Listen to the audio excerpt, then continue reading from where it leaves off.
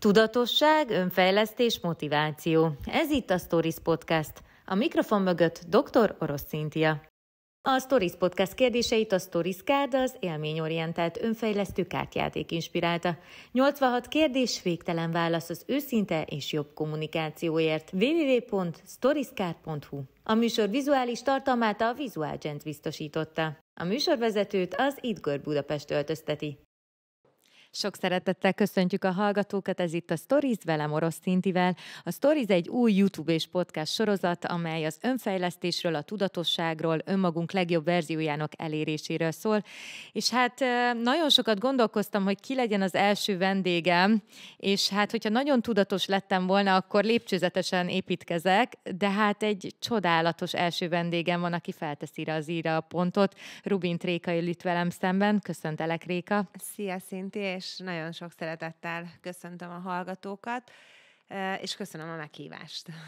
Pont itt beszélgettünk pár szót Rékával, egy forgatásról jött, hogy igazából te ezen is sokan gondolkodtam, hogy annyi mindenben tudonnám kiemelni a rékát, és ugye itt a műsornak az a tematikája, hogy egy mély témát boncolgatunk kicsit részletesebben, és, és igazából az a hitelesség, az önazonosság, azt gondolom, hogy ez is abszolút rád illik, és igazából egy ország számára megkérdőjelezhetetlen tudna lenni ez a téma, de mégis én a hosszú távú párkapcsolat és a hosszú távú szerelem fenntartását gondoltam, mint téma. Ehhez és... is nagyon fontos az, az önazonosság szerintem. Na, szuper, akkor ez így biztosan át tudjuk ma, el tudjuk látni itt a nézőket hasznos tanácsokkal. És hát kezdjünk is bele akkor. Én Hát egy, egy Instagram posztot szeretnék neked felolvasni, amit, amit hát nyilván olvastál, de hogy szeretném, hogy hallják így a nézők is, és annyira szép gondolatokat írt rólad, Norbi. Amikor szomorú az idő, szeretek emlékezni. Tegnap Réka rendbe rakta a szekrényt, és elővette a kis piros emlékdobozát, és megmutatott egy-két dolgot. Például, amikor 22 éve első közös utunkra vittem Mexikóba. Két repjegy, Malév, már nincs. Cancún Miramar Hotel egyik számlája, ahol megkértem a kezét. Már a hotel sincs. Sok éve elvitte egy hurrikán, csak mi maradtunk ketten, a világon egymásnak és három gyönyörű gyerek. Eltűnődtem, vajon minden feleség ilyen? Elő tudja venni azt az első közös kis randi papírjait? Én, mint férfi, biztos elkevertem volna, de Réka. Szíven döfött a kis dosszié újbóli kézben tartása. Nagyon szeretem őt. Jobban, mint akkor. Másképp. Mélyebben a világon a legjobban. Nem hoztam zsebkit. Miért raktam ezt ki? Csak azért, hogy tízszeressétek egymást, Norbi. Zsebkendőt nem hoztam, de köszönöm szépen. uh, és egészen más, amikor uh, valakitől ezt hallod, tehát aki visszaolvassa neked, és egészen más, amikor olvasod. Uh, akkor is meghatódtam. Érdekes, amikor ezt a kis dobozt megtaláltam, akkor, akkor őt sokkal jobban megérintette, mint engem, most meg engem mm-hmm, érint meg milyen ez. érdekes dinamika. És a Norbiban az egyik legcsodálatosabb dolog az, hogy rendkívül mm, romantikus, és nagyon meg tudja mutatni az érzéseit. És talán az, ahogyan ő kommunikál, meg kommunikált őszintén, sokszor sokaknak úgy tűnt, hogy nyersen, ez pont ez, ez az őszintesség, az, hogy őszintén elmondani, és az őszintességgel nem megbántani, hanem segíteni, felébreszteni az embereket, hogy haló. Csak ugye mindenki más tudat szinten van, és van, akinek egy, egy gondolat, egy üzenet, a sértő, pedig nem az. És van, akinek, van, akinek egy, hálás köszönet uh-huh. afelé, aki mondja, mert vagy egy hálás köszönetet indít el abban, akihez ez megérkezik, mert azt mondja, hogy Istenem, végre valaki, aki felnyitotta a szemem. Úgyhogy ez nagyon, nagyon érdekes. Hát nyilván 22 év az sok idő a párkapcsolatra visszatérve, és ez tényleg olyan, mint egy hagyma. Tehát mhm. minél, vagy mint egy, mint egy egy, inkább azt mondanám, hogy mint egy fának a törzse. Ugye, hogyha egy nagyon-nagyon idős fát kivágnak, akkor látjuk az erezeten, uh-huh. hogy, hogy, hogy, hogy ez, egy, ez egy öreg fa. Tehát nem csak a, a, az átmérője adja azt a gyökerek, a gyökerek hanem, hanem ugye a, az évgyűrűk is mutatják, minél több az évgyűrű, ugye a kapcsolatban is, annál, annál mélyebb és annál, annál meghittebb tud ez lenni. Mit tudsz kiemelni, Réka, a párkapcsolatotokban? Mi a, mi a, mondhatnánk azt nagyon közhelyesen, hogy titok, nem így szeretném megkérdezni. Mik azok a, a, a közös pontok, vagy a, mik azok a pontok, amelyekkel ilyen szilárdan tudtok működni 22 éve?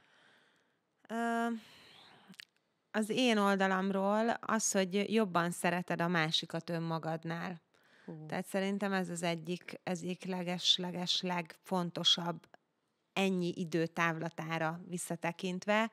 Nyilván az elején, tehát a legelején, a leges-leges legelején nekem nagyon fontos volt az, hogy fel tudjak nézni a férjemre, uh-huh. mint férfira. Tehát nagyon fontos volt az apa minta. Az, hogy az édesapám egy, egy rendkívül karakán, egy rendkívül megbízható, egy, egy ilyen igazi férfi volt, és ez az energia, ez az erő, ez, ez, ez ott volt, és van a Norbiban. Ahol leegyszerűsítve, hogy mindenki értse, ez, arra, ezt azt tudnám erre mondani, hogy számomra az a férfi, aki minden helyzetben, bármilyen helyzetben képes megoldani a szituációt és az édesapám milyen volt. Uh-huh. És amikor ő elhunyt, akkor bizony ez a kislányénem, ez megijedt hogy akkor hol van most nekem a biztonság, hol van, hova lett az a férfi energia, amit az édesapám, tehát nem a férjem, az uh-huh. édesapám, mert azért a Norbinak is egész, azért egy picit más az energiája, hiszen nem ugyanarról az emberről beszélünk, tehát az édesapámnak is volt egy saját energiája, de ott volt benne az a férfi energia, ami nekem a biztonságot és a támasztatta kislányként, uh-huh. és addig, amíg élt. És nyilván egy nő, szerintem minden nő az édesapja mintájára választ, hiszen amiben egy, amiben egy gyermek felnő, az az energia, és fo- sokat fogok az energiákról beszélni, mert nagyon hiszek benne, az, az, az akarva akaratlanul a részünké válik. Tehát amikor valaki, ö, valaki felnő és családot alapít, vagy párkapcsolatot ö, alakít, és hoz létre, ott, ö, ott akarva akaratlanul jön az édesapa és az édesanyja energiája. Az, amiben felnőttünk, az a minta, az akarva akaratlanul oda, oda kerül. Valamilyen része az életünkbe. És ez nem azt jelenti, hogy ugyanúgy fogjuk csinálni, hanem, hanem az ott van. Tehát az egy olyan minta, ami, ami az alapot adja. És uh, amikor én a Norbit megismertem, tehát visszatérve a fiatalságra, ugye ott nagyon fontos volt, ami nekem fontos volt, uh, a párválasztásban, és abban a párválasztásban, ahol én eldöntöttem, hogy én itt fészket rakok. A szívem, a lelkem, mm-hmm. nem a feje, az eszem, hanem itt belül a szívem. Szóval nekem ott nagyon fontos volt, hogy fel tudjak nézni a férjemre, a páromra, ugyanúgy, hogy az édesapámra tettem, azt a biztonságérzetet érezzem mellette, amit az édesapám mellett uh-huh. éreztem, és aztán minden más, ami még jött a Norbiból, az, hogy hihetetlen jó a humora, uh-huh. mindig meg tud nevettetni, sosem uh-huh. rossz kedvű, mindig, mindig jó kedvű, az, hogy, az, hogy, hogy tényleg úgy, úgy tud szeretni engem, mint ahogy az édesapám szeretett. Mindennel együtt. A, a, a, a, a jó és a rossz tulajdonságaimmal együtt. Szóval úgy fogad el, amilyennek vagyok. És talán ez is egy nagyon fontos Ez a feltétel dolog. nélküli Abszolút. szeretet. Nagyon érdekes, amit mondtál, ugye ezek a transgenerációs minták és a le- leöröklődéseknek a, a, az energiáját mutattad be.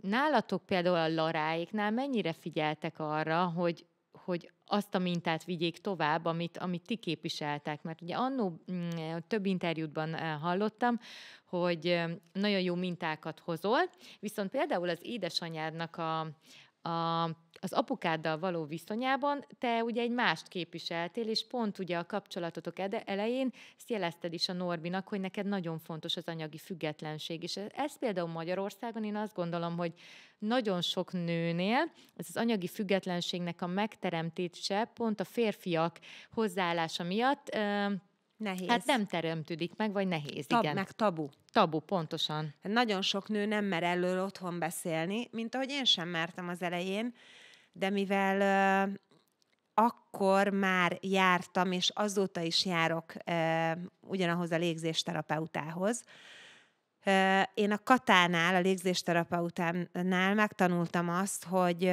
csak akkor lehetek boldog, én, Rubint Réka, ha én nem Sobert Rékaként, nem Sobert Norbi feleségeként, nem Sobert Norbertnéként, Figyelj, ha elmész vidékre, meg lehet nézni, most amikor valakit megkérdezek, hogy uh, hogy írjam alá neki a dedikáló kártyát, tehát egy vidéki fellépés uh-huh. után kérdezik tőlem, hogy szabad egy aláírás? Mondom, persze, tess, tessék mondani, kinek írhatom. És akkor mondja, hogy Kovács Béláné.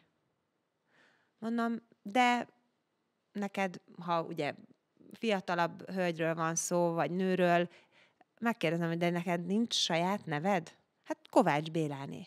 Ugye milyen érdekes? Mhm. Ez csak egy elszólás, de mondom, keresztnevet szere. Ja, Hello, Erzsike, Uh-huh. Timi, ugye? Tehát, és akkor most ezt csak azért mondom például, hogy tényleg mindenki értse.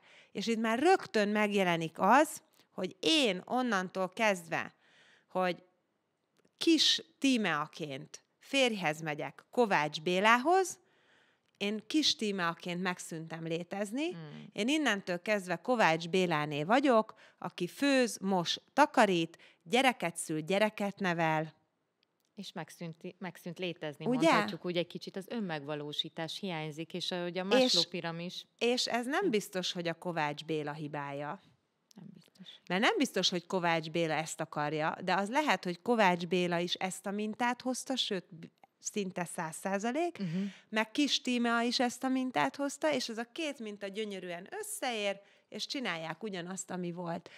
Na most, az, visszatérve a kérdésedre, az én édesanyám és édesapám is ilyen mintában éltek, mert hogy ezt a mintát hozták. Igen. Az édesanyám szülei is ezt a mintát mutatták, az édesapám szülei is, hát mi mást vitt volna tovább a két gyerek. Igen. És uh, amikor uh, az édesapám TS elnök volt, az anyukám szintén a, a mezőgazdaságban dolgozott, uh, adminisztratív munkát végzett, és uh, hát apukám volt az, aki tulajdonképpen ö, a család fenntartóként, anyukám is ugyanannyit tett hozzá, rengeteget, nagyon sokat, de mégis volt egy ilyen hierarchia a családban, és én ebben nőttem fel. Na de, amikor 33 év után az édesapám hozott egy rossz döntést, vagyis, hogy együtt hozták meg ezt a rossz döntést. Azért mondom, hogy rossz döntés, mert 16 év után az édesapám visszatért az anyukámhoz, tehát 33 év után ők elváltak, Igen. És uh, én ebből azt láttam, hogy az anyukám ott maradt, Uh-huh. és a semmi ágán ül a szívem, uh, ezt tudnám erre, ez jutott így hirtelen az eszembe, szóval a semmi ágán ott ült a szíve, összetörve, a semmi ágán ott maradt, Boldogtalan volt, elvesztette a férfit. És elvesztette azt Mm. a talajt a lába alól, ami neki mindig a biztonságot, ó, most is kiráz a Mhm. hideg, és, és tulajdonképpen ott maradt, ott maradt, ott maradt egyedül, hol nem volt egyedül, mert ott voltunk neki, a bátyám, az sok, én, a sok unoka, minden ott volt, de valahol ő mégis egyedül maradt belül, és itt utána én beszélgettem róla, vagy erről vele, és ő mindig Rubin Timréné volt. Mm. És, és ő abban a 16 évben, amikor apukám elment, és másik házassága lett, majd ott elvált, és visszajött. Ez nem semmi, hogy És anyukám sose engedte úgy ide, aztán vissza. Anyukám abban a 16 évben is Rubin Timréné volt, itt belül, Uh-huh. És amikor meghalt, akkor is Rubin Timrénéként halt meg. Szóval, hogy és amikor én ezt láttam, hogy ők 33 év után elválnak, akkor bennem, bennem egy világ omlott össze, és uh-huh. jártam már a légzésterapeutához, és nagyon sok hagymahéjat lebontogattunk ahhoz, hogy én ezt helyére tudjam tenni, fel tudjam dolgozni, de egy valami kikristályosodott bennem, és itt van a válasz arra, amit kérdeztél, hogy egyet tudtam, hogy sosem akarok ebben a függőségi viszonyban lenni. Soha. És én akkor kezdtem el tulajdonképpen ö, meg, meglátni a, és, és próbálni mondogatni otthon a Norbinak, mert ugye, ahogy mondtam, hogy az édesapám mintájára találtam egy férfit, nyilván ez a minta is gyönyörűen megvolt a Norbiban, hogy én vagyok akkor a család fenntartó, te pedig legyél az, aki összetartja, megszüli, felneveli, uh-huh. itt van, tehát, hogy a minta. És, és én ezt a mintát, ezt akartam, hogy megszülöm, felnevelem, ott vagyok, összetartom, de szeretnék Rubint Réka maradni. Az a Réka, aki, aki, aki, aki nem fél soha attól, hogy egyszer úgy jár, hogy az anyukája. Uh-huh. És ez nem egy bizalmatlanság, hanem ez egy tudatalattiból előhozott félelem, ami, amit nagyon örülök, hogy sikerült legyűrnöm, nagyon örülök, hogy sikerült, és erre biztatok minden hölgy né- nézőt, akiben van egy ilyen félelem, hogy ne féljünk soha. Tehát egyetlen egy emberért soha ne féljünk kiállni a gyerekeinken kívül önmagunkért. Uh-huh. Mert önmagadért ki nem állni, tehát önmagadat cserben hagyni, a legnagyobb öngyilkosság. Az egy, az egy olyan luxus, az a luxus, lemondani önmagadról, azt nem szabad. Nagyon gratulálok neked, mert igazából megtetted azokat a lépéseket, amiket nagyon sokan nem tesznek meg, és ebben munka volt. És e, ez, ez tényleg, ez, ezt a hallgatóknak tudjuk mondani, hogy meg kell tenni, és miért kell megtenni? Nem csak önmagadért, hanem a gyermekeidért, hogy a ő minta. ne vigyet. És Bizony. nézzük meg most, hogyha megnézzük, hogy mondjuk Laráék, Zalán, Norbika mit visz tovább, mit lát, és nekik már ez lesz a természetes. Abszolút. Erre nagyon, egy nagyon egyszerű mint, mond, mintát mondanék. Ö, és most így nem azért, mert, mert edző vagyok, nem azért, mert az egészséges életmódot fontosnak tartom, hanem tényleg ez egy nagyon egyszerű példa. Az, hogy egy édesanyja, édesapa reggel fogat mos, azt a gyerek látja, leköveti. Igen. Az, hogy egy édesanyja, édesapa vasárnap, hétvégén, mi nagyon sokszor hétközben is leülünk együtt főtt étel mellé, amit a két kezemmel, vagy a Norbi a két kezével készít, ez nekik teljesen természetes. Tehát a Lara is most nyitogatja a kis párkapcsolatát, és, és ő főz. Tehát ő otthon főz. És a fiú el van ájulva, vagy úristen, tehát nem rendelnek, nem, nem, nem mirelitet csinálnak, mm. hanem főz. Az hogy, az, hogy otthon kinyitjuk a, a, a, a laptopot, leülünk a számítógép elé, és bocsánat a kifejezésért, milyen szenny íródik le a kezünk által kommentelőként, azt, és tényleg kérem a nézőket, hogy jól gondolják át, mert ezt látja a gyerek. Ugyanúgy, hogy a fogmosást, ugyanúgy, ahogy a, a vasárnapi ebéd elkészítését, ezt is látja, és követni fogja, és adja jó Isten, hogy ne kövesse ezt a negatív kommentelést, de sajnos követni fogja. Ö, és ott a negatív kommenteken, itt nem magamról beszélek, úgy nagy általánosságban a világról, ismeretlenül írunk. Tehát nem tudjuk, hogy ez az ember az, az, az, az mit, mit élt át? végig, mm. min ment keresztül, és adott esetben mi miért történik, nem tudjuk. Sokszor még saját magunkban sem tudjuk, hogy mi zajlik, nem, hogy egy másik emberben. Ö, vagy hogyha én például rendszeresen évente magunkat is, és őket is elviszem vérvételre. Nagyon fontos. És Zalárnak még alig találták a kis vénáját, amikor, amikor mentünk vizsgálatra, és, és, és most már ők kérdezik, hogy anya, mikor lesz az éves vérvizsgálat? Érted? Tehát kialakítasz az életükben egy olyan rendszert, ami neki teljesen természetessé válik. és amikor rossz mintát mutatunk, mert egy gyereket nem nevelni kell, mintát kell, példát kell neki mutatni, mert önmagadon keresztül fogod mm-hmm. nevelni, akkor ha rossz mintát mutatsz, a rosszat, ő nem tudja, hogy az rossz. Neki te vagy a mentora. Mint egy tehetségkutatóban. Neki te vagy a mentora. És te mentorként óriási felelősséggel tartozol, hogy mit mutatsz a gyerekednek.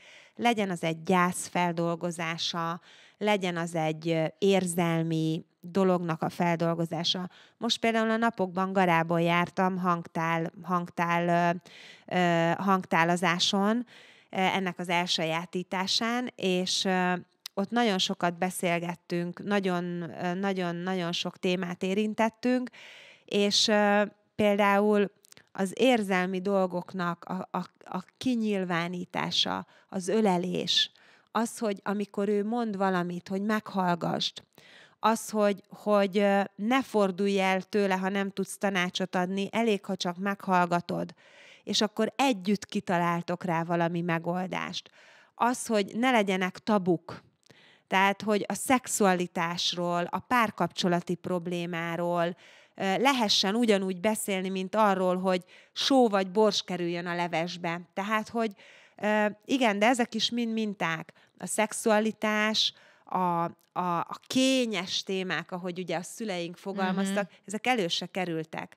Hát nagyon sok esetben kislányok a, a, a, a, a a, a, az öltözőbe, vagy bárhol egymást kérdezik. Egymást hogy... kérdezik arról, Igen. hogy neked már megvan. Igen. Tehát, hogy nincsenek felkészítve, mert, mert valahogy ez otthon nem téma, otthon, otthon ilyen, ilyen tabu. Szőnyeg alá Szőnyeg alá. De mindez ez... azért, mert egy ilyen legalábbis én most 45 évesen mondhatom, hogy én így nőttem fel, és nagyon szerencsés az, aki nem így nőtt fel.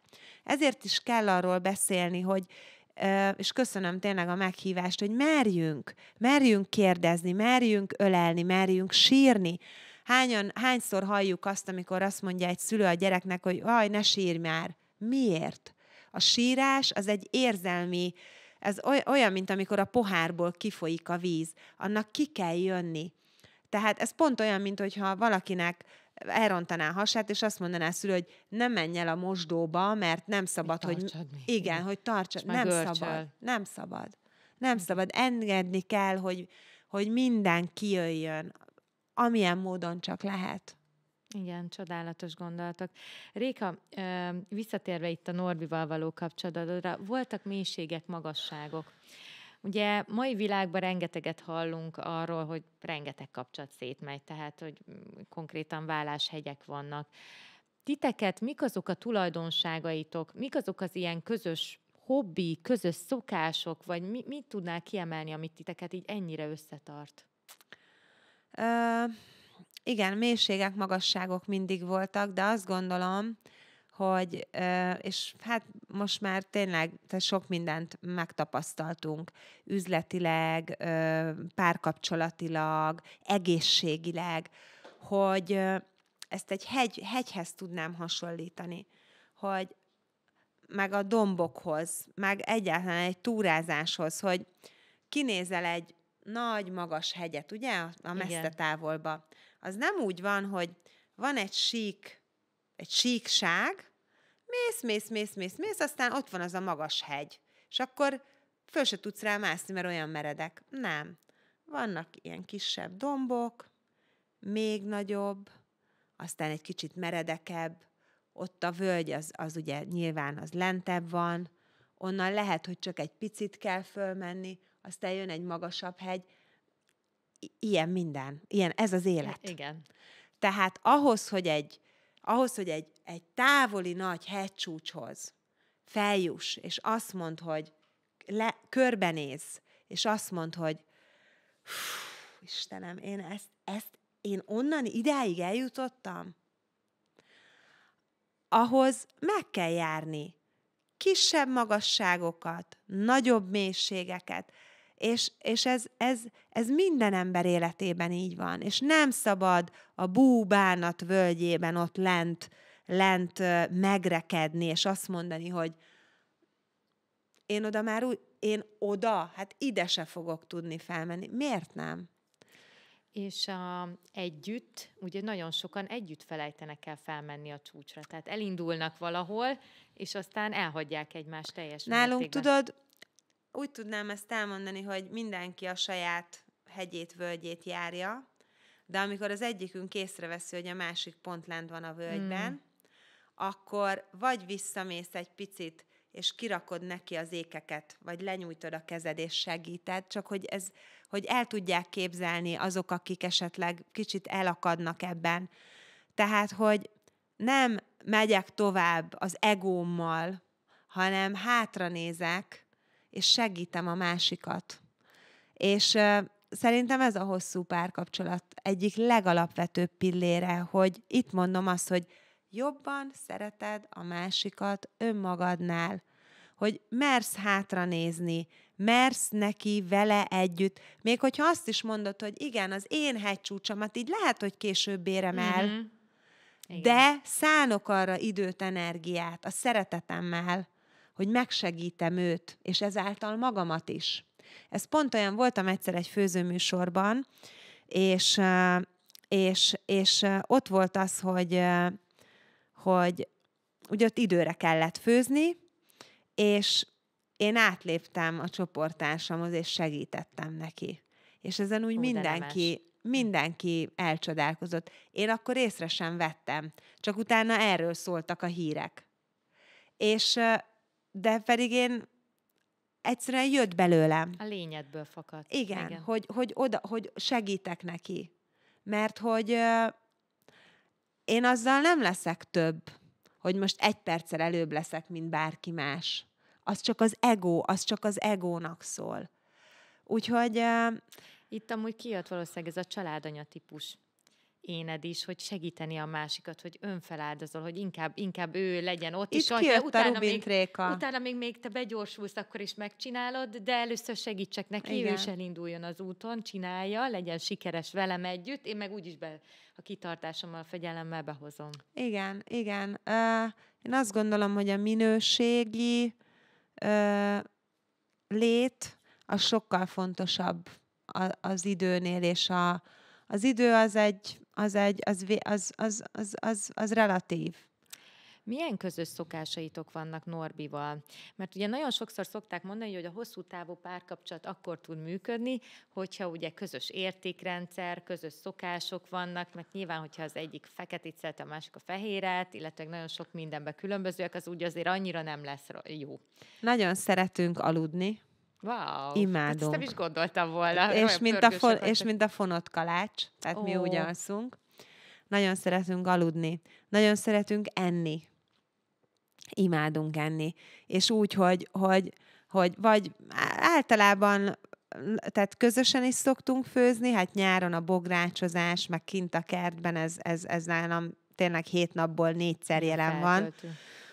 Abszolút. Tehát nagyon szeretünk főzni együtt, nagyon szeretünk enni együtt, nagyon szeretünk új, nagyon szeretünk élményt gyűjteni, nagyon szeretünk utazni, és nagyon szeretünk kettesben lenni, úgyhogy szánunk is arra időt, hogy a gyerekekkel is, és ketten is. Ne, mo, soka, sokakban felmerülhet a kérdés, ugye nemrég utaztatok el, ugye születésnapodra meg is lepett Norbi, tehát hogy olyan annyira beleteszitek a kreativitást a kapcsolatotokban, és Figyelünk is, a másikra. Abszolút, és hogy most is együtt utaztatok, hogy, hogy ilyenkor nem unjátok egymást? Gondolom sokakba felmerül, mert mondjuk a párját unja, hogy ti mi, mi, mi hogy, hogy nem unjátok egymást? Mi, mi nagyon szeretünk, tehát szeretünk, például nálunk egy ilyen kettesbe pihenésnél azzal, addig alszunk, míg tényleg ki nem dob az ágy. Aztán elmegyünk edzeni, és uh, utána megyünk reggelizni. De hogyha mondjuk az egyik azt mondja, hogy ú, én még maradnék az ágyba lustálkodni, és a másik viszont azt mondja, hogy de én szeretnék, most elmegyek edzeni, akkor jó kicsim. Tehát hagyod a másikat. Uh-huh. Nem az van, hogy de mi tegnap azt beszéltük meg, hogy izé után, mert változik az ember. Egy éjszaka alatt is ő ő lehet, hogy sokkal jobban érezné magát, hogy reggeli előtt, tehát hogy hagyjuk egymást uh-huh. a, a pihenésen, az együtt töltött időben is meghagyni a másiknak az én, az én, időt. az, az ént. Uh-huh. És akkor vagy ő elmegy edzeni, vagy, vagy együtt elmegyünk, akkor utána elmegyünk reggelizni, Például most motort béreltünk és mentünk, imádunk. De például egy közös, nagyon, nagyon szeretünk együtt motorozni. Wow, és úgy gondoltam. felfedezni, aztán megállni valahol valami kis tavernánál, és akkor uh, például szeretünk együtt nézelődni. Például én imádom a helyi dolgokat, ezeket a kézműves dolgokat megnézni. Zalán is ilyen egyébként a kicsi fiam. És akkor a Norbi nem sürget engem, hogy jaj, de menjünk már, hanem, hanem hagyja. Rágyújt egy szivarra addig, és akkor érted? Tehát, hogy ami nekem fontos, az lehet, hogy neki nem fontos, de szeret annyira, hogy engedi, hogy akkor én azt Ez fontos legyen, és. Hogy csináljam, és ez viszont is így mm-hmm. van. Mhm. Azt látom, hogy nagyon-nagyon mind a ketten egy nagyon tudatos, önfejlesztett emberek vagytok, és pont e, nagyon asszertíven kommunikáltok. Ugye az asszertív kommunikáció, hogyha nem tudnák a nézők, az arról szól, hogy lényegben elfogadod a másikat, és próbálod, tehát nem negativitással, nem becsmérelve próbálsz hozzászólni, hanem akár kérdések formájában rávezeted a másikat, hogy lényegben számodra mi a jó. Nálatok ez így abszolút működik. Most már. Azért nem volt ez mindig így. Tehát amikor én a Norbit megismertem, sokkal inkább, én azt gondolom, valószínű, hogy a leszületésünknél már volt egy, egy, egy, egy, egy pici kis eltérés. Valószínű, mert minden lélek más, igen, igen. Más, máshogyan születik le, más szinten, érzelmi szinten, és, és szerintem, ha mondhatom azt, akkor, két ember nem hiába találkozik, mint hogy a gyerekeink se hiába hozzánk mm. születnek le. Tehát azért találkozunk párkapcsolatilag, azért találkoztunk például mi is, mert én annyira érzem, annyira egy nyelvet beszélünk. Én Tehát is. azért, azért minden ember, a barátok, ugye vannak nagy barátságok, amik megszakadnak, és akkor van, aki nem érti, hogy miért. Azért, mert eddig volt, eddig, eddig volt eddig volt feladatotok egymás mellett az életben. Tehát, hogy a Norbi egészen más mintában nőtt fel, ugye őt az édesanyja egyedül nevelte, mm. ott nála nem volt, nem volt meg a férfi minta, tehát én azt gondolom, hogy most kezdünk összeérni, és nekem a légzésterapeután mindig azt mondta, hogy Réka, vagy vagy, vagy most itt az elején feladod, amikor voltak ilyen értetlen élethelyzetek, amit nem értettem, hogy a Norbi miért nem érti, uh-huh. azt mondta, vagy önmagadon keresztül, és ugye ezt mondtam a gyerekeknél is, hogy egy szülő önmagán keresztül ad teret annak, hogy a gyereke mentoraként fejlesz-e őt. Szerintem a párkapcsolatban is így van, hogy vannak, vannak ö, erősségeink, a Norbinak is más, nekem is más, uh-huh és egymást tudjuk az adott mentori szinteden, ha fogalmazhatok így, a, mentorol, a, a, a, a mentor társadat, mert ugye, hogyha egy tehetségkutatót nézünk, a zsűriben is az egyik ebben jobb, a másik abban jobb, nem, ott sem egyformák a mentorok. Tehát, hogy... És sokszor a mentor választ. Bizony, bizony. Wow, érdekes, igen. igen. Úgyhogy, úgyhogy én, én ehhez tudnám ezt hasonlítani, hogy, szerintem önmagunkon keresztül, meg együtt, ahogy mondtam, hogy a két hegyvonulat más magasságokba egymás mellett megy, de hogy ettől szép, ettől értek, aztán majd a végén ugyanarra a csúcsra fel, és, lehet, és az egész életút erről szól, és, és minél inkább közeledik ez az út, annál jobban érzed benne a harmóniát. Uh-huh. Miben fejlesztett téged legjobban a Norbi? Ugye, hogyha így mentorkodásról beszélünk, mert ez egy nagyon szép gondolat egyébként, hogy gondoljunk bele, hogyha hogyha a másik, a társunkat úgy, úgy néznénk, mint hogy az ő mentora vagyok, mennyi mindent ki tudnánk belőle hozni. Sokszor egy mondjuk egy feleség, ha szomorú, ugye szokták mondani, a férj is hibás igazából, mert hogy, hogy szomorúvá teszi a nőt. Engem megtanított az elfogadásra, Önmagad elfogadására? Vagy Igen, bizonyos ön, önmagam elfogadására. Uh-huh. Tehát ő volt az első ember, aki elhitette velem azt, hogy én nő vagyok, Wow. és hogy én, és hogy én, egy, és hogy én úgy, ahogy vagyok, vagy, vagyok jó, Uh-huh. ugyanis amikor megismertem, akkor térdigérő pólóban és ilyen susogós melegítő nadrágban, tehát hogy minél kevesebbet lehessen belőlem látni, tartottam edzéseket. Tényleg, el se tudlak képzelni, Igen. hogy az ízig-vérig nő Igen. vagy is. Igen, és, és amikor az első VHS kazetta készült, hát abban mégse lehet egy térdigérő pul- pólóba lenni, és akkor stúdió világít, tehát stúdiófényekben, szépen kisminkelve, sose voltam előtte kisminkelve, akkor voltam 23 éves, egy, egy fürdőruhában lelettem fotózva, és én emlékszem, hogy amikor megmutatta a fotós a képeket, zokogtam Hú. és lehet, hogy még a fotós is emlékszik erre a pillanatra, és mert én nem hittem el, hogy az a lány én vagyok, és amikor a VHS kazetta elkészült, én utána öt évig. Tehát már minden, szinte Magyarország minden családjánál ott volt ez a VHS kazetta, Rubin Tréka, add önmagad, és Rubin Tréka ezt a VHS kazettát öt évig nem nézte meg. Hú. Tehát én ennyire nem voltam kapcsolatban saját magammal. De ez minek köszönhető szerinted így? Valahogy a környezeted nyomott le, vagy így, hogy Nem vidéki tudom. lány, és hogy nem lehet, úgyse érhetsz el nem, dolgokat? nem tudom, hogy minek. A mai napig nem tudom, hogy ez, ezt mi okozta bennem. A légzésterapeutával sokat ö, foglalkoztunk azon, hogy megkeressük a kicsi énemet, aki az elején nekem háttal ült egy sötét szobában, egy sarokban. Ilyenen én is átestem. Tehát Igen. ez volt az én kapcsolatom önmagammal, és, és most már, amikor ezt a, ezt a meditációt elvégzem, akkor, akkor tízből kilencszer ez a kislány boldogan, mosolyogva jön felém. Persze mindig megszeretgetem, mindig bátorítom, mindig, mindig megnyugtatom, hogy én itt vagyok neked, és mi együtt vagyunk egy egység, és Mhm. bármikor, bármiben számíthatsz rám. Ezt úgy kell elképzelni, mintha a saját gyerekedet bátorítanád, mert bennünk is él egy kicsi gyermek, akinek szüksége van ránk, a felnőtt lényünkre. Úgyhogy, úgyhogy a Norbi ebben, ebben nagyon sokat segített nekem. Aztán nagyon sok, sokat segített abban, hogy, hogy merjem kimondani azt, ami bánt. Mert én amikor, mert anyukám sosem mondta ki, ugye Mhm. a minta, Igen. és amikor én őt megismertem, és, és ugye van ez a mondat, hogy á, mindegy, nem mondom.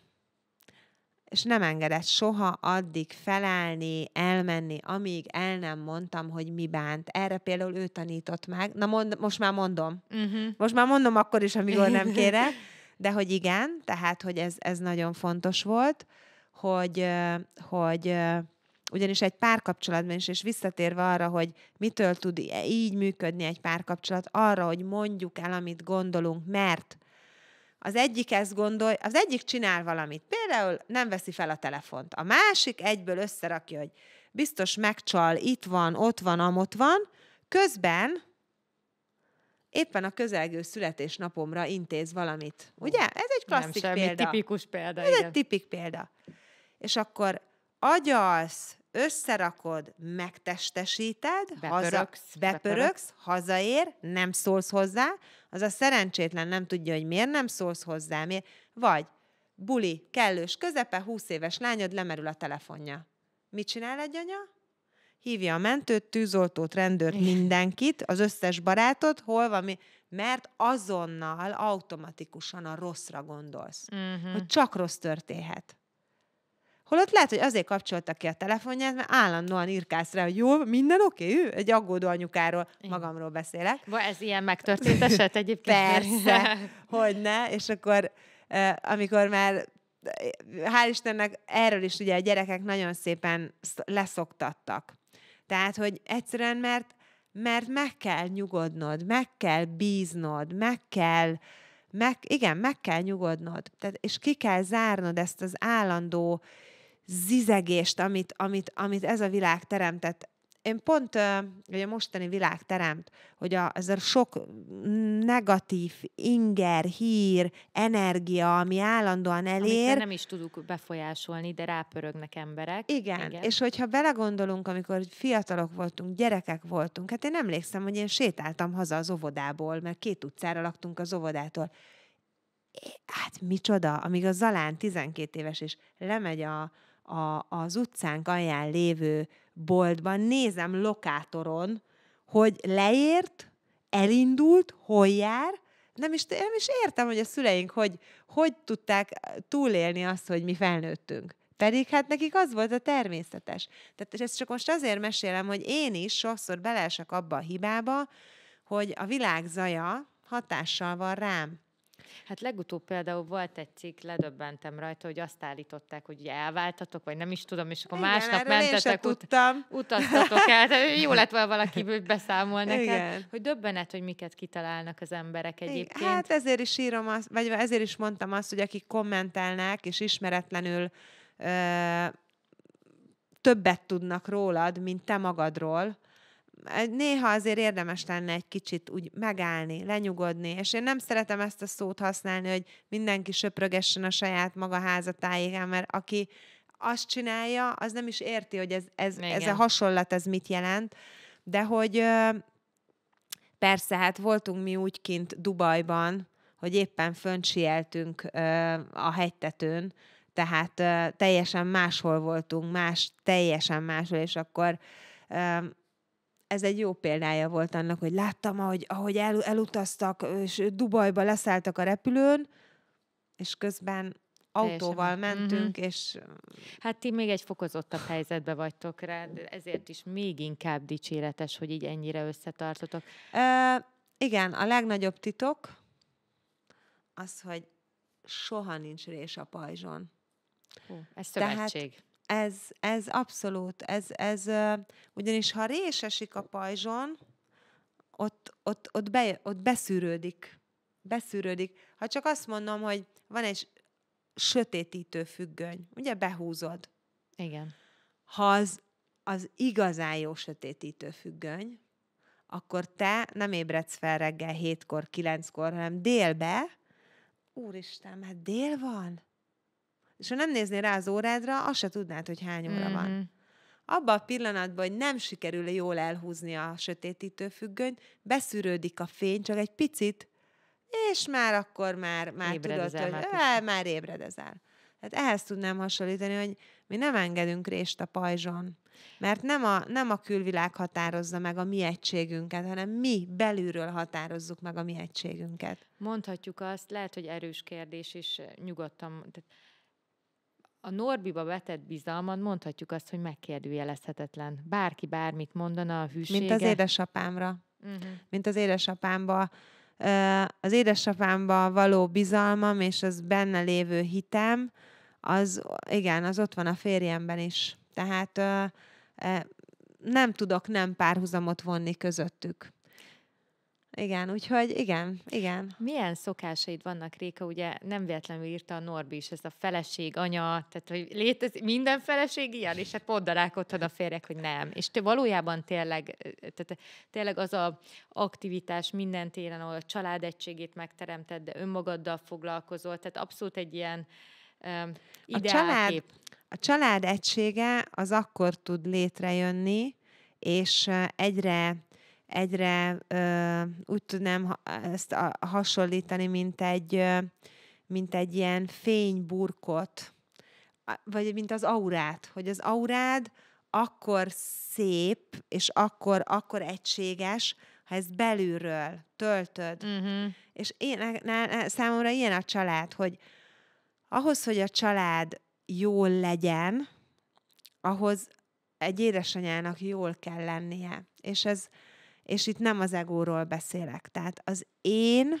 én, az itt belül én. Ha én, én foglalkozom azzal, hogy itt belül jól legyek. Mondok egy példát. Múltkor azt mondja nekem a Norbi, hogy fú, kicsim, mit fogok ma csinálni? Mert ugye én mentem garábra. Mit fogok én ma csinálni? Ma nincs dolgom. Uh-huh.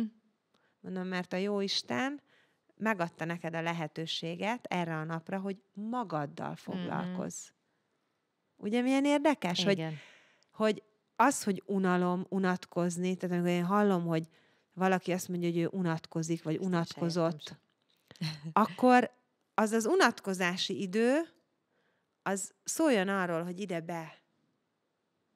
Ja, én azt, azt nem szeretném. Én maga nem. Ugye? Pedig, pedig az a kicsi idő, vagy az a sok idő, amit az ember unatkozással, vagy azzal tölt, hogy a másikról írja, na azt az időt, vagy csak annak a felét, vagy csak ennyit arra szánna, hogy itt belül megtalálná, elkezdené keresni önmagát. Mi a lélek küldetése? Mi az, ami boldoggá teszi?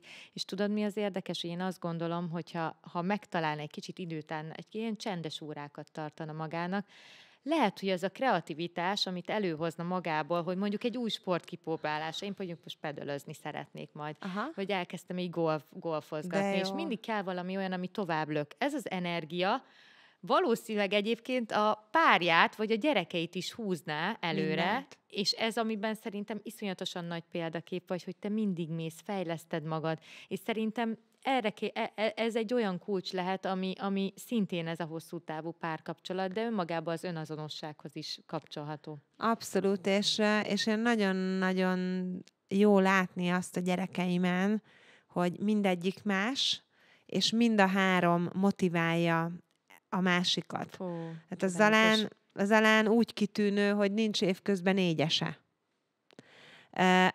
Ez motiválja a többieket, mert a Norvikának egy, volt egy ilyen, hát ilyen átlagos tanulmányi eredménye, és most gimnazistaként 4,5 fölött zárta az évet. Nem sem. Tehát a, például az, hogy, hogy, hogy Norvika edz, és ugye láttuk, hogy igen. kiből ki lett testileg, igen. az motiválja kicsit, a larát. Az, hogy, hogy, tehát, hogy egymást, egymást mozgatják, egymást motiválják.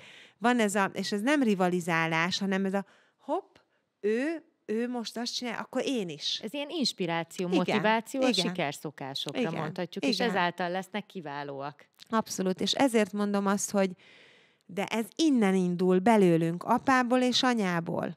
Ha látják, hogy apa és anya, szoktam hallani így a, a vendégeimtől, hogy ugye Lara most kezdett el órát tartani, és hogy úristen, Rék, hogy milyen aranyos, vagy hogy a múltkor látták őt, nem tudom, vidéken, és hogy, hogy köszön a, a recepció, beszélget a recepciósokkal, hogy, hogy van-e, hát mondom, vagy a Norbika, amikor megnyerte a Fan VIP-t, mm-hmm. és hogy hogy, hogy ő hogy ilyen. Mert ebben, én nem, most nem csak a mintára, nem Igen, magamról beszélek, értelek. a minta.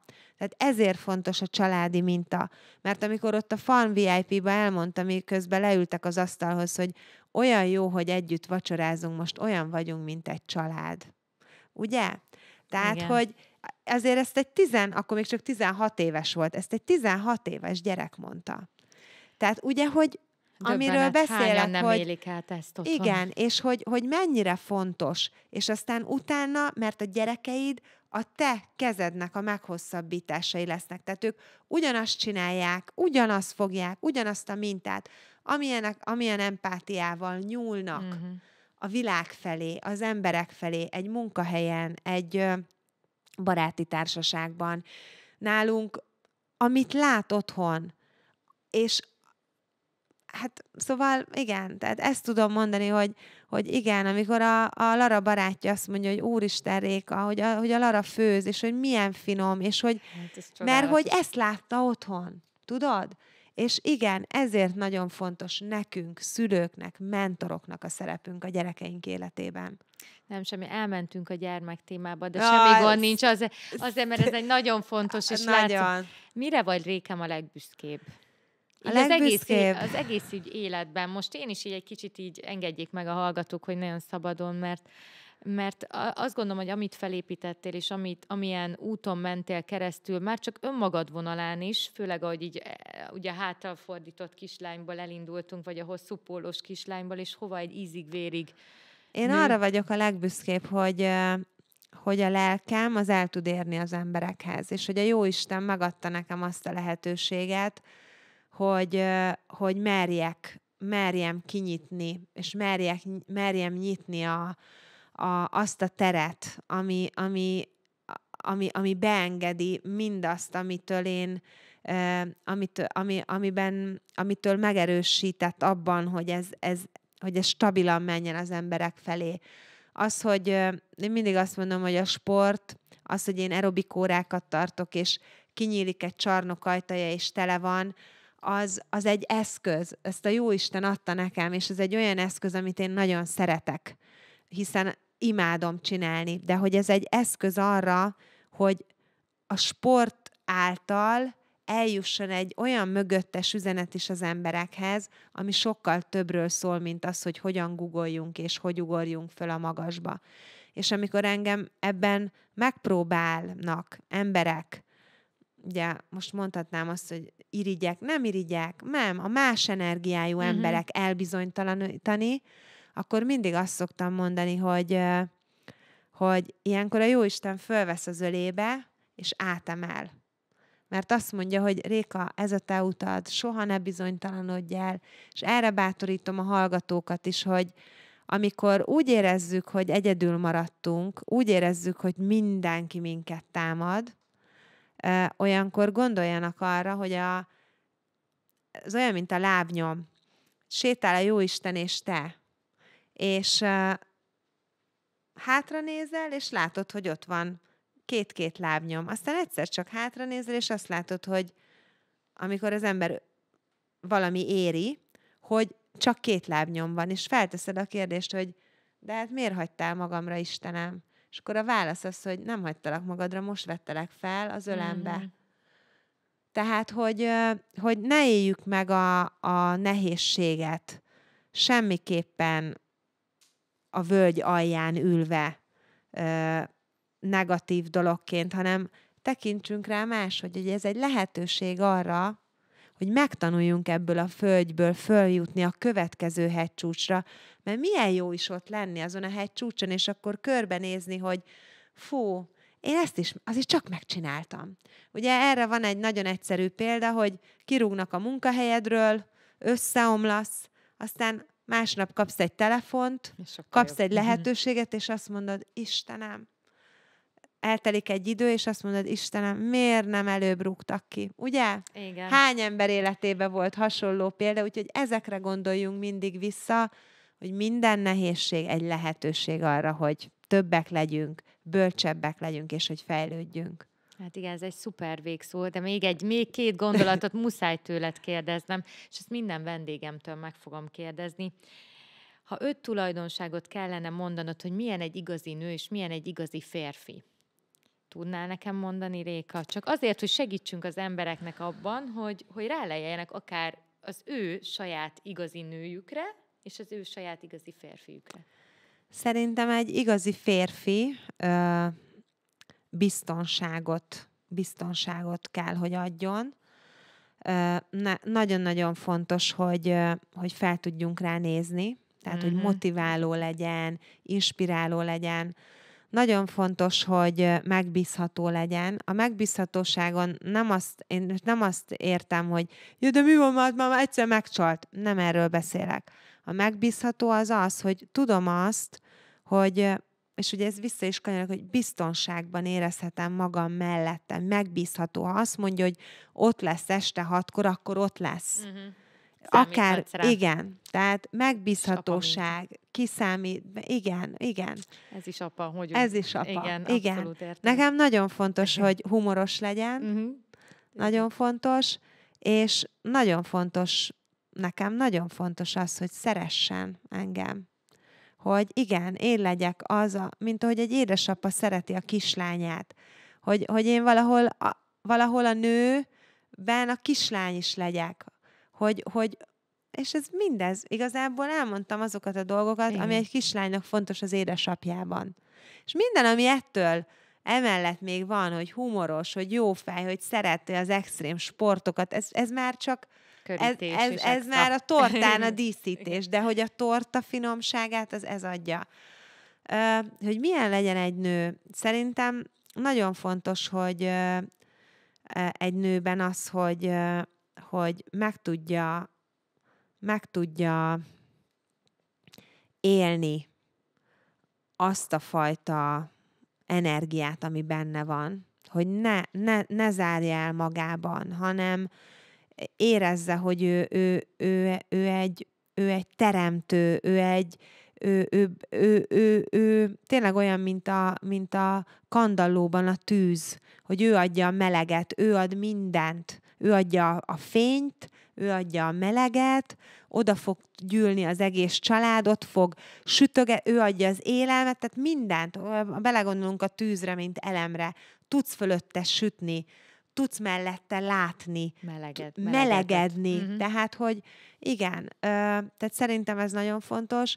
Nagyon fontos egy nőben, hogy, hogy, hogy nő tudjon lenni, hogy, hogy igen, amikor azt mondja, hogy én most szeretnék elmenni egy fodrászhoz, mert én attól érzem magam nőnek, akkor, akkor menjen. Tehát, hogy a nőiességét kívülről is meg tudja élni. Szerintem nagyon fontos egy nőben, hogy, hogy odaadó, támasza, és ugye itt rögtön visszamegyek a tűzhöz, hogy a család, a gyerekei, hogy egy, egy ilyen igazi szeretet áramlás legyen a, a gyerekei, a, a családja, a szülei, a testvérei között. Szerintem nagyon fontos egy nőben, hogy, hogy ahogy mondtam, hogy ne valamilyen né legyen, hanem önmaga tudjon maradni. Ez teljesedtség. Az, ez, ez rendkívül fontos. És ez négy volt, hogy mi lenne még az ötödik. Szerintem az, hogy nagyon fontos egy, egy nőben, hogy megtalálja azt a férfit, akinek ő mindennel együtt ő tudjon lenni. Tehát, hogy, hogy, hogy úgy szeressék őt, mint ahogy egy édesapa szereti a kislányát. Mm. És, és szerintem erre mindenki, és hogy ne, ne menjünk bele kompromisszumból dolgokba. Ne menjünk kompromisszumból férjhez, ne menjünk kompromissz, ne menjünk, ö, ne házasodjunk azért, mond most garában voltam, hogy ö, van egy, van egy ezt most én, ezt hagyj olvassam el fel én. Most akkor a beszélgetést én zárnám egy idézettel. Ugye arról beszéltünk, hogy, hogy kompromisszumból ne csináljunk semmit, és tanuljunk meg kiállni önmagunkért. Most olvastam Garában ezt az üzenetet egy, egy étteremnek a falán. Úgy szól, Tisztelettel kérdezem azoktól, akik úgy élték le az életüket, hogy mit szól a falu népe, hogy végül mit szólott. Hát, igen, ez óriási. Ugye? Igen. Úgyhogy, Számít-e bárkinek a, bár, a véleménye bármikor? Mi történik? A, a, valaki ezt mondja, valaki a számít? Nem az a lényeg, hogy amikor hazaérsz és becsukod az ajtót magad mögött, hogy ott mi van? És ez itt a belső, a lelkedre is gondolom, hogy amikor lehunyod a szemed, nem az a lényeg, hogy ott belül mi van, de, mert mindent az fog meghatározni, hogy jó kedved van, hogy rossz kedved van, hogy, hogy kisugárzik, hogy, hogy szép vagy, az az ember szép, akinek a lelke szép.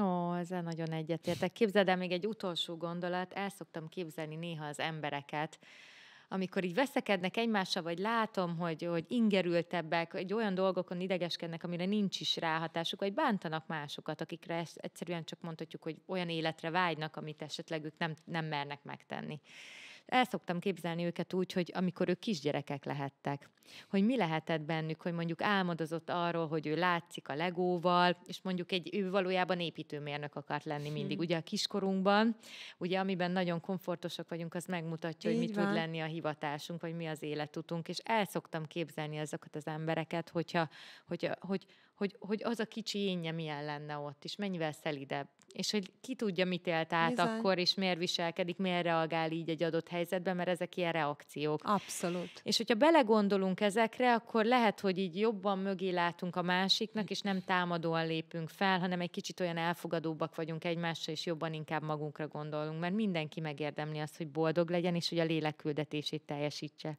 Hát igen, csak nagyon sok esetben, amikor gyerekek vagyunk, tehát gyerekként nagyon sok és tisztelet a kivételnek, de sok gyerek a szülő nyomására választja azt a pályát, azt a hivatást, amit utána aztán rájön, hogy ő azt nem is szereti. Tehát, hogy ugye ott el kell dönteni, hogy mi akarsz lenni, milyen egyetemre, milyen főiskolára, ha nem mész egyetemre, főiskolára, mi az, hogy nem mész? Tehát, hogy, mert, hogy, mert hogy diploma nélkül nem is vagy ember. De miért nem? Tehát miért ne lehetne valaki, miért ne csinálhatná azt, amit szeret? Tehát ki mondja meg a falu népe, Pontosan, igen, igen, abszolút. Ugye ezzel kell is figyelni, az ilyen mérgező szülők ne legyünk, stb. Igen. stb. Úgyhogy ez egy következő téma lesz. Hát el tudnék itt beszélgetni veled, Réka, nem Én tudom, órákat, nem baj, jössz majd még hozzánk. Rendben. nagyon szépen köszönöm, hogy itt voltál velünk. És nyugodtan hív meg a gyerekeket is. Nagyon jó. Larát, Norbikát, jó, mert rendkívül, és mondanám azt, hogy Zalánt is Hát az Alánka eljön, és elképesztő. eljöhet, megengeditek elképesztő. neki, vagy dönthet így, hogy e, eljön. Én nagyon szívesen látom. Lehet, hogy még így... az a kis bátorság nincs meg benne, de hogyha valamelyik testvérével jönne, szerintem abszolút, mert egészen különleges az, amilyen üzenet jön a gyerekeinktől. Több Csak sokszor szülőként ezt nem halljuk meg pedig a legnagyobb tanítóink, én azt gondolom, és amit mondtam, hogy nem hiába születnek hozzánk, csak meg kell tudni őket hallani. Hát sok szeretettel várom akkor a gyerekeket, jó? Mindenképpen, Rendben. és köszönöm, köszönöm hogy itt voltál Köszönöm velünk. szépen. Tőletek pedig búcsúzom, ennyi volt mára, legyen szép napotok, sziasztok!